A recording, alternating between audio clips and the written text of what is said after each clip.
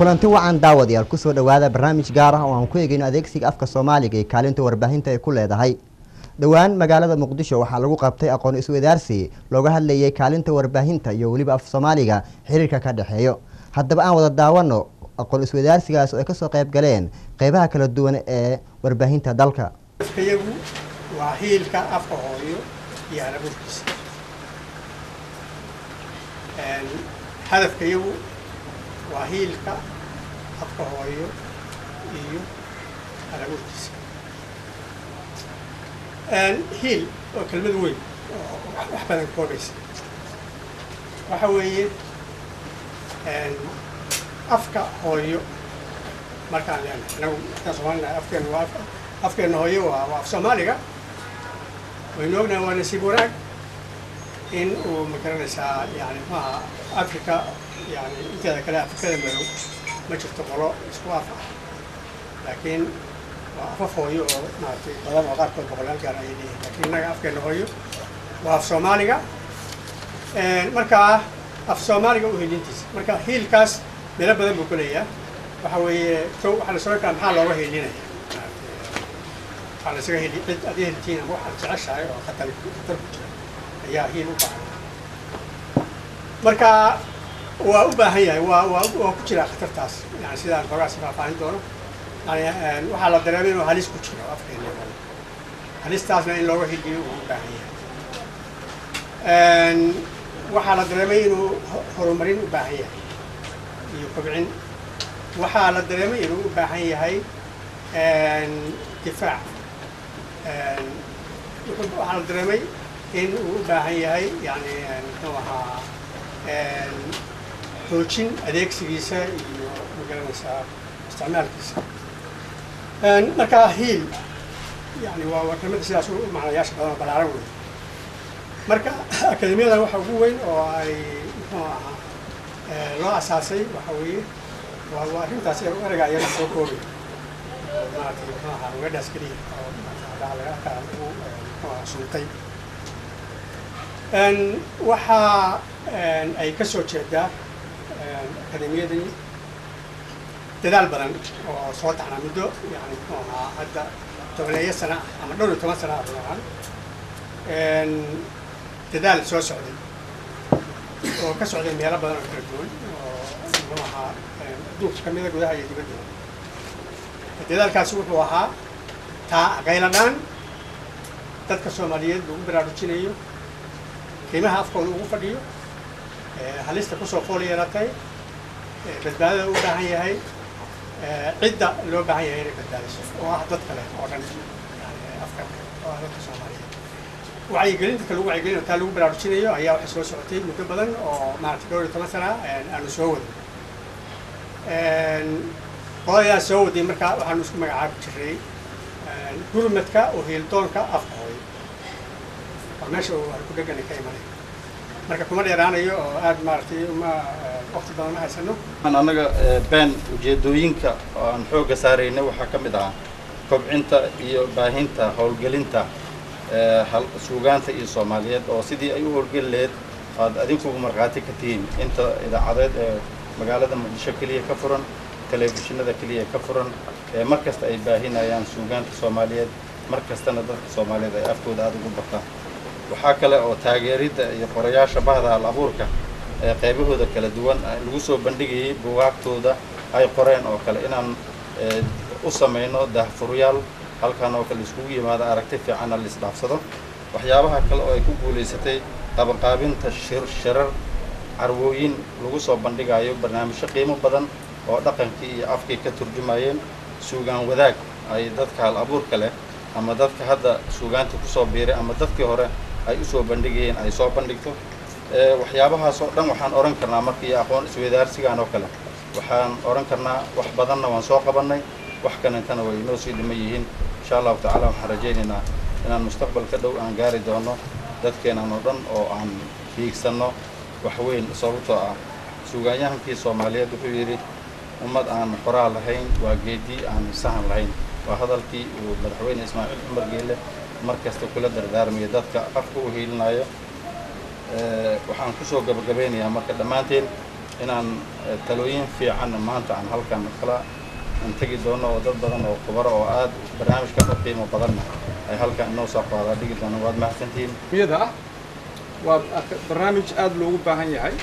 Saxafiyiinta soomaaliyeedna maantii markaad idaacadaha dhegaysato een, waxaad moodaa in wax badan naga dhiman yihiin af soomaaliga. Waa af soomaali wanaagsan oo maaragtay sax ah oo maaragtay inkastoo aan dadaalayno haddana wax badan oo af soomaali inay naga maqan yihiin. Sida af soomaaliga horumarintiisii ay maaragtay dhibaatada ugu dhacday oo markaad dhegaysato dhinaca suugaanta een, fiiriso bugaagtii la qoray labaatankii sano een, maaragtay een, iyo sida looga faa'iidaystayba. Marka maxamed een, afraax iyo tiimka way ku mahadsan yihiin isxilqaamkan. Een, barnaamijkanna waxaa loo maanta oo keliya een, maaragtay in ay ka kobciyaan oo maaragtay ay dhammaan dalka wada gaarsiiyaan. Barnaamij resource center in ay u sameeyaanna waa kula talin lahaa maaragtay soo jeedinteeda koowaad oo meel af soomaaliga maktabad loogu soo hagaago oo maaragtay buwaagtii af soomaaliga laga heli karo iyo suugaantoodii taasna maaragtay een, oo muhiim ay u tahay maaragtay in af soomaaliga uu kobco. Laakiin markaan qorayo anigu waxaan qori lahaa buug dhan baan qori karaa aan wax ku jiro. Haddana ilama ilama dhaato maxaa waxa waxa weye toban jeer ku soo noqonay? Miilaan baran waxa la yidhaaho. Usluubta quraanka. Waa repetition baa waa ku celcelin. Ku celcelintu wax fool. Marka horta anigu waan idla joogaya waxaana weeye insha allah billahi kariim haddana waxay geedka naxda ilaha standardization. Meesha waxaanu imi maadaama ay xaruntii tahay meelaha kale waan ka dhaqaa waan ka qayli karaa laakiin halkan aad timaado oo qayladeedu cirka way soo gelamaysa afka waxaan doonaynaa sanadkaa gudihiisa oo ku ducaynaysaan inaynu isku soo qoro waa la hayaa qaacidadii. Haddaan afka isku sii loo qorina idinkuna journalist noqon maysaan qoraana noqon maysaan afka lama kala yaqaan. Maxaa loo kala aqoon waa afka? Billah calayk erayada hadday isbedelaan macno kale ayay samaynayaan taas laftirkeeda waxaan arkay xaggan erayo kula dagaalami jiray ardayda waxbarayay oo ka mid ahay eh, dugsida sare dugsida dugsida sare dugsiga sare wey ama dugsiyada sare wey dugsida sare bal xagga uga waxaan moodaya in puntland looga hadlay. Haddaa xamar iyo midna waan ugu imi dugsida sare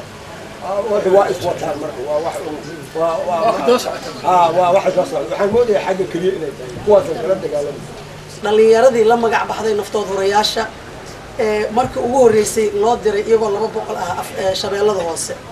Ma ilaawo kar heesihiina lagu soo dhoweeyey. Dhallinyahay la doorbida xilka deegta loo suray. Idinkaa dalka iska leh idinkaa dadkiisa beertaad maanta duugtaan idinkaa dib uga guran la dagaala cudurrada dhaqankeena dumin kara waa heesihiina lagu soo dhoweeyey markaan afka ka soo haddaan u soo noqdo heeska afka soomaaliga lagu hirgelinayo waan garanay wanaagii baan garanay oo waan gocanay xumaan horaan gocanay garta magaco yaalada qodobada ha gaaf marin. Falgudbaha ha gaara marin. Ma gudbaha ogsoono goboladu kala baxo naxwa amaanka geeli sagaalkaba ku beera shaqalka tobanka gaaban tobanka hangan toobnay shaqalka tobanka gaaban tobanka hangan toobnay giddigoodba shibanaha gambanow hamsaa jira ayaan lagugu gaadin oyay ku gaadin. Ayaan lagugu gaadin oyay ku gaadin. Godadka laba laabma iska giiji shaqalada. Gumaysta iya la jire guushayada ninkii neceb fartayadu ninkay gubi gidaarka madaxa ku dhuft maxayga galay waxba? Maxayga galay waxba waxaad wada daawateen kulankii aqoon isweydaarsiga iyo fikradihii laga soo jeediyey halkaasi. Haddaba markuu soo dhammaaday aqoon isweydaarsigaasi ayaan waxaan waraysi gaara la yeelanay guddoomiyaha akadeemiya goboleedka maxamed daahir afrax. Ujeeddada loo asaasay waxaa weeyaan waa badbaadinta daryeelka iyo horumarinta af soomaaliga oo aanu dareennay inuu halis ku jiro.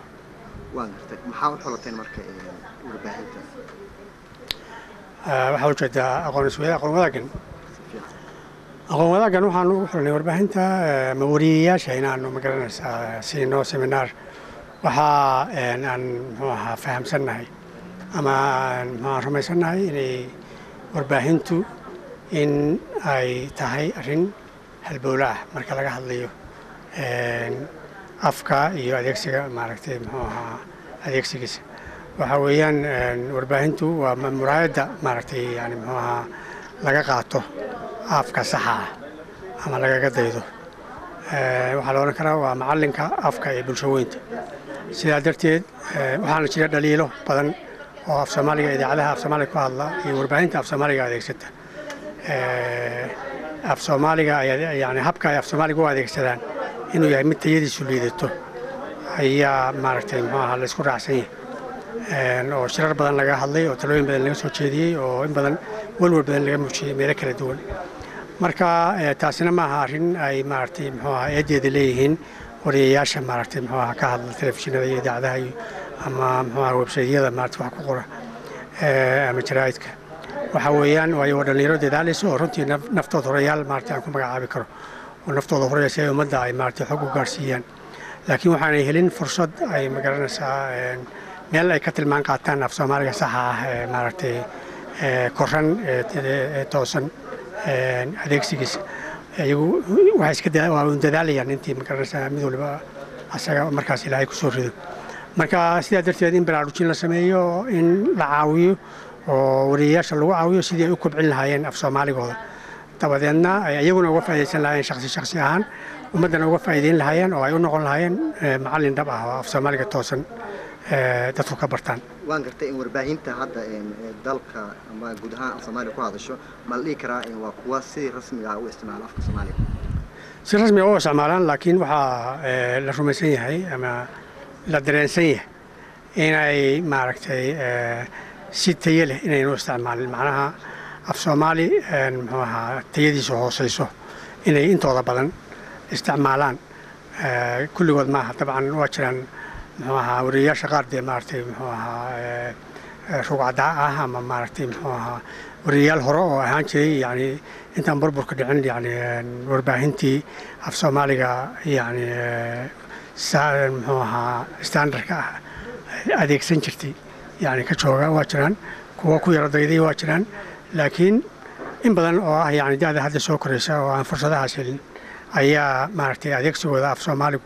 af soomaaliga nooca af soomaaliga ay adeegsadaan uu yahay mid tayadiisa hooseyso waana taa midda aan jecel lahay in wax laga qabto oo kor loo qaado fikradihii aad halkaan ku aragteen ay soo jeediyeen qaar ka mid a ka qaybgalayaasha wadaaggan maxaa idinkaaga soo baxay akademi ahaantii waxaa iga soo baxay inay maaragtay wariyayaashu ama maaragtay warfidiyaanku dhallinyaradan warfidiyiinka ah inay dadaalayaan inay xamaasad iyo maaragtay firfircooni iyo muujinayaan danayn badan oo xirfadooda iyo afkooda iyo maaragtay taasina waa mid dhiirigelin leh. Waxaa kale oo maaragtay aan ka arkay oo aad iyo aad aan ugu farxay inay fikrado badan oo dhaxalgal ah oo wanaagsan ay soo jeedinayaan. Waxaa aan ka arkay inay yani ka marag fureen oo iyagoo dhan ay isku raaceen in ay maaragtay ereygan sheegayo oo ah ama arrinkan sheegay oo ah inay hooseyso tayada af soomaaliga loo adeegsado warbaahinta. Maanta waxayna soo jeedeen talooyin badan oo ay leeyihiin waa in sidaa iyo sidaas wax looga qabtaa oo annaga faa'iida noo ah maaragtay akademiya ahaan.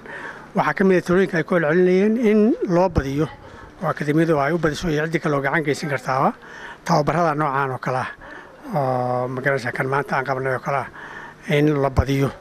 Ayay soo jeediyeen haddii alla ilmana waanu ku camal fali doonaa marba intii ay ogolaato awood akademiyadu way cusub tahay maxaa hiigsanaysiin mustaqbalka waxaad qaban doontiin maadaama dowadaagana aragteen wixii kaaga soo baxa waxaanu higsanaynaa dee himilo weyn baa maaragtay akademiyadu ay leedahay runtii oo in ay wax weyn ka tarto dhibaatooyinka taagan oo aan soo tilmaamay waxaa ka mid a waxyaalaha ay ku tala jirto akademiyadu cilmi baaris in muxuuha dhinacyada kala duwan ee afka iyo sugaantiisa in cilmi baaris laga sameeyo mid walba in loo xilsaaro guddi gudiyo kala duwan oo joogta oo guddiyo xeeldheerayaal ah ayay ka koobnaan doontaa ay ka koobnaan doonaan howlwadeenka yani muxuu ahaa udubdhexaadka oo ah howlgalka iyo shaqada akademiyada dadkaas marka xeeldheerayaasha cilmibaarayaasha qolo waliba marka waxay xoogga saari doontaa dhinaca aqoonta ay u leeyihiin oo qolo waxaa loo xilsaari doonaa inay noqdaan maarata maalan guddiga erey bixinta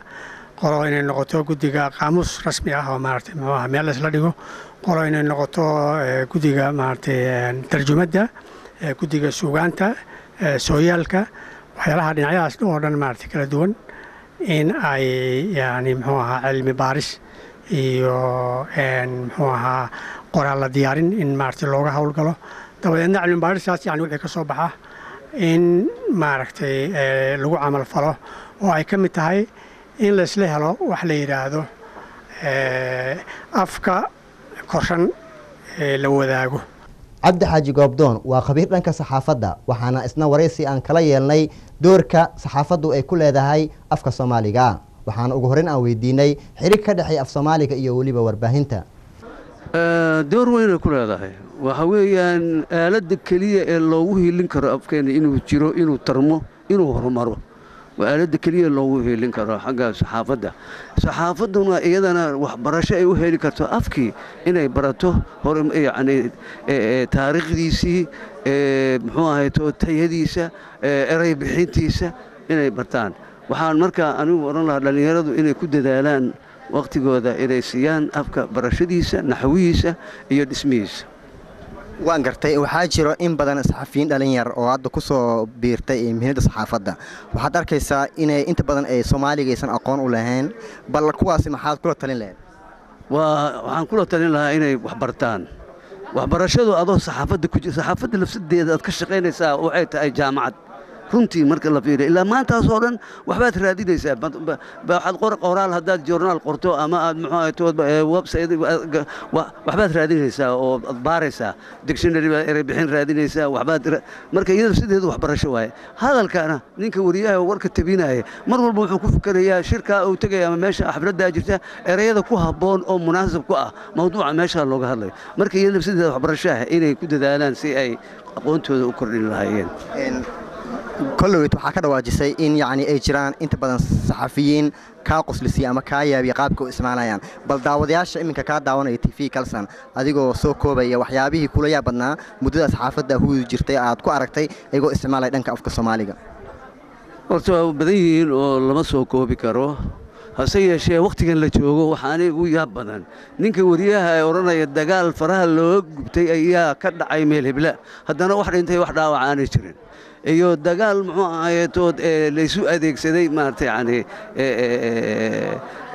dagaal baa meeshaa ka dhacay. Ma garatay wixiina wax natiijo ka soo baxay horta in la hubiyo warka waana la sugaa dhacdada markay dhacdo hubsiinay u baahan tahay. Waxaan rabaa waxaa dadka loo bilinaya horta inay run ku dhisayeen beysika sharciga muxuu ahayetood saxaafaddana waxaa waaye wuxuu inay run yihiin hadday mar ay dhacdadu run ahayn hadday adeeg kugu soo noqonaysaa ku ceeboobaya taa markaa in layska hubiyo waa habboon tahay. Ugu dambeyn maxaad u soo jeedinaysaa in warbaahinta iyo weliba in akademiyadan cusub ee lagu dhawaaqay maadaama sanadka cusub aan ku guda jirno warbaahinta waxaan u soo jeedinayaa warbaahin national inay noqoto.